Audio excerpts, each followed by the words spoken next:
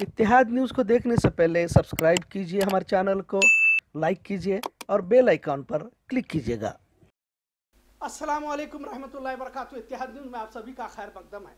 Corona अपना खौफजदा चेहरा तो दिखा रहा है, पर ऐसा लग रहा है कि आवाम में डर कम होता जा रहा है। अब तो लोगों ने मास्क भी पहनना भी कम किया हुआ है।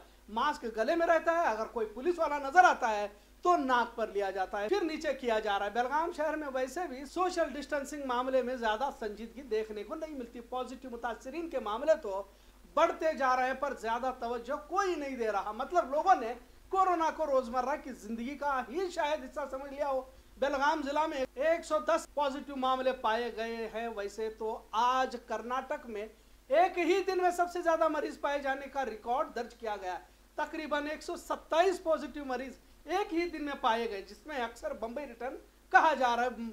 मंड्या, गुलबर्गा, शिमोगा, दावनगिरी से तमाम पॉजिटिव है। बरोज पीर तकरीबन 100 में से 80 मरीज़ बम्बई रिटर्न होने की वजह से 31 मई तक महाराष्ट्र से आने वाले लोगों का लोगों पर पाबंदी लगा दी गई है, जिसमें से तकरीबन सदुसठ मुतासरीन नेगेटिव होने के बाद डिस्चार्ज किए गए। जेर इलाज 50 मरीज़ हैं। पूरे जिला में एक की मौत हुई है।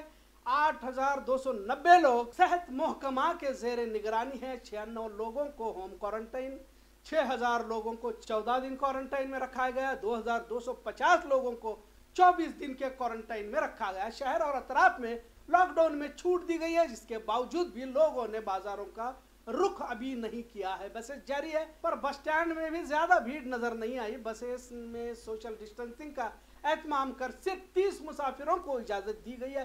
तकरीबन पचपन दिनों के बाद बसों का सफ़र जारी हुआ है।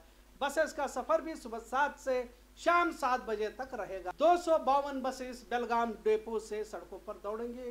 करोड़ों के घाटे के बाद सरकारी बसेस सड़कों पर दौड़ तो रही है, पर आवाम में ज़्यादा जोश दिखाई नहीं दे रहा। रियासत की जानब से यह भी ऐलान किया गया है कि किसी तरह की भीड़ न करे और फासलों का एहतमाम करे। लॉकडाउन मुकम्मल तौर पर इतवार को सख्ती से अमल में लाया जाएगा। स्कूलों को शुरू करने पर भी हुकूमत सोच रही है। दसवीं के इम्तिहान 25 जून से शुरू होंगे और 4 जुलाई तक जारी रहेंगे।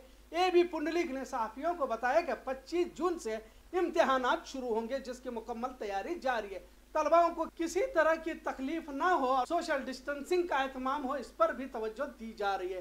बारहवीं का एक पर्चा बाकी था और लॉकडाउन का दौर शुरू हुआ, जिसकी फ़िक्र बारहवीं के तलबा और वालदेन को थी। लिहाजा अब बारहवीं अंग्रेज़ी का पर्चा भी 18 जून को लिया जाएगा। अभी कोरोना की मुसीबत खत्म भी नहीं हुई, इस बार मानसून भी दमदार होने के इम्कान रोशन नज़र आ रहे हैं, पिछले साल मूसलाधार बारिश ने बाढ़ जैसे हालात बना दिए थे और पूरा जिला मुतासर हुआ था।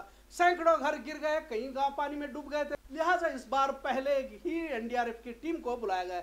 जून के पहले हफ़्ते में धुआंधार बारिश का मुकाबला करने के लिए एनडीआरएफ की टीम बेलगाम में दाखिल होगी। तकरीबन तीस अफराधों की टीम बोट और दिगर साजो सामान के साथ दाखिल होगी। कुल मिलाकर कहा जाए तो कुदरती मुसीबतें अभी खत्म नहीं हुई लिहाजा सभी को गुनाहों से तौबा करने की ज़रूरत है।